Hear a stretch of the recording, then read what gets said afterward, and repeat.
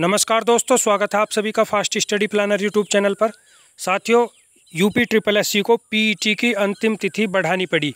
देखिए, आपने सुबह की वीडियो में देखा होगा कि जो न्यूज़पेपर की कटिंग थी, कि चेयरमैन ने बताया है कि अंतिम तिथि को नहीं बढ़ाया जाएगा।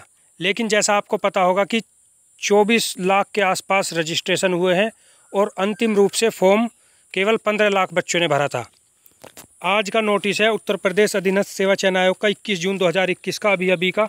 देखिए, आयोग के विज्ञापन संख्या ज़ीरो एक, परीक्षा 2021 प्रारंभिक आहारता परीक्षा पीईटी 2021 के अंतर्गत ऑनलाइन आवेदन की प्रक्रिया दिनांक 25 पाँच 2000 यानी 25 मई से इसकी प्रारंभ हुई थी।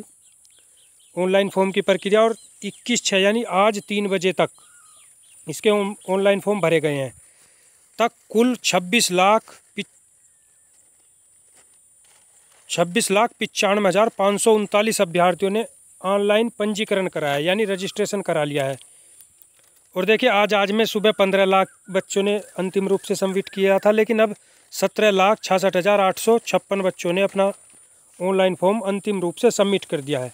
इस प्रकार पंजीकृत अभ्यर्थियों व अंतिम रूप से आवेदन सबमिट कर चुके अभ्यर्थियों की संख्या में काफ़ी अंतर है। लगभग नौ लाख के आसपास जो ये बच्चे बचे हुए हैं देखिए, सत्रह लाख के आसपास ने फॉर्म भरा है अपना, अंतिम रूप से। और पंजीकरण जो हुआ है, वो छब्बीस लाख का हुआ है। तो ये जो नौ लाख के आसपास जो बच्चे बचे, इनके लिए डेट बढ़ानी पड़ी। अब देखिए, डेट कब तक की बढ़ाई है? इस संबंध में एनआईसी द्वारा अपनी ईमेल दिनांक 21 छः 2021 द्वारा सूचित किया गया कि यह अंतर विभिन्न बैंकों से आवेदन शुल्क के अंतरण में लगने वाले समय के कारण है। जैसा कि आपको पता होगा कि ऑनलाइन फॉर्म तो बच्चे भर रहे हैं, लेकिन उनकी फ़ीस नहीं कट रही है। तो आयोग द्वारा इस प्रकरण में समग्र रूप से विचार करते हुए अभ्यर्थियों के हित को ध्यान में रखते हुए निर्णय लिया गया कि पंजीकरण की अंतिम तिथि में कोई परिवर्तन नहीं किया जाएगा।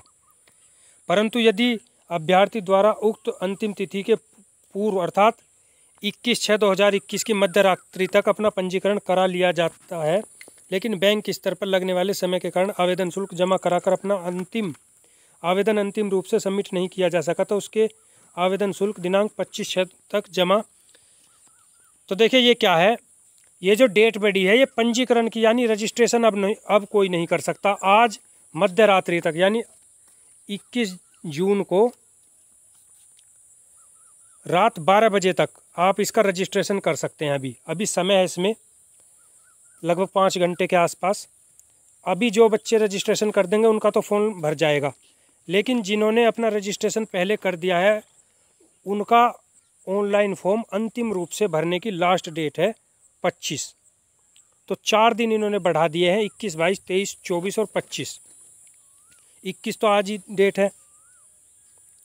अब देखिए, इन्होंने इस बात को स्पष्ट रूप में दोबारा कहा है। पुनः स्पष्ट किया जाता है, यदि किसी अभ्यर्थी द्वारा दिनांक 21 छः 2021 की मध्य रात्रि तक अपना पंजीकरण नहीं कराया गया तो उसकी प्रारंभिक आहारता परीक्षा 2021 हेतु आवेदन नहीं किया जा सकेगा।